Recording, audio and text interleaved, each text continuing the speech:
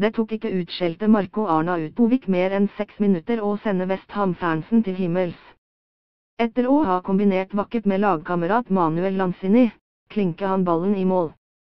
Til tross for at 199 cm høye Thibaut Courtois strakk seg så lang han var, kunne ikke BLG-ren, som kan være på vei bort fra Chelsea, gjøre noe med skuddet. VG Live, vi fulgte kampen spark for spark. Det har ikke tilhørt sjeldenhetene at det Hammers skårer først, for så å miste ledelsen, men lørdag holdt det stand, og tok dermed en stor skalp, i tillegg til tre uhyre viktige poeng. Arna Utbovik ble tungen på vektskålen, og det var ikke vanskelig å se hvor viktig dette var for Arna Utbovik, for Mangager David Møes og for fansen. Så du denne? TV 2 kommentarene mistet derbyet på grunn av heistrøbbel. Østerrikeren feiret nemlig på seg et gult kort da han jublet for mål sammen med fansen, mens Møyes jublet hemningsløst på sidelinjen og med god grunn, med tanke på det dystre tallene han kan vise til.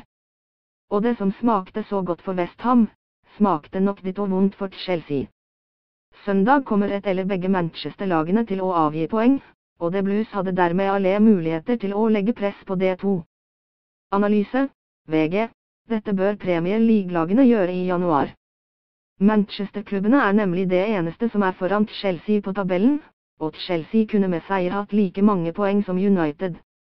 I stedet kan det røde djevlene øke avstanden fra tre til seks poeng, mens Manchester City allerede er elleve poeng foran.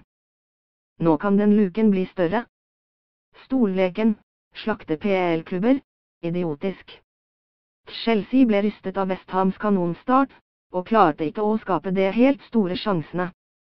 Dermed endte det med Westham-seier, deres først mot byrival Chelsea på over to år.